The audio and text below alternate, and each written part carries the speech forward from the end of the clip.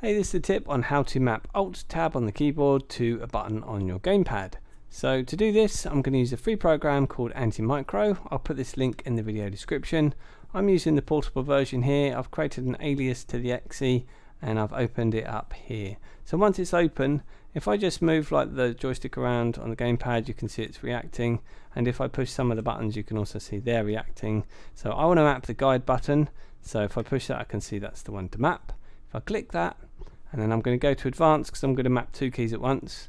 And we're going to click on the first key and press left alt and the second one here and push tab close that close that and now while ever antimicro is running this will apply so if I just push um, the guide button, you can see it's just tabbed between that and uh, Firefox that I've got open there.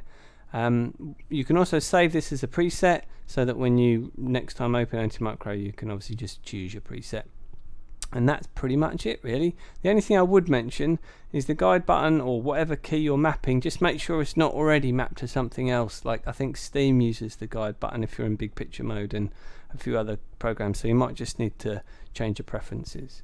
Anyway hopefully this video was useful to you. If it was please give me a thumbs up. Or if you'd like to subscribe to see more of this sort of thing please do that. Thanks for watching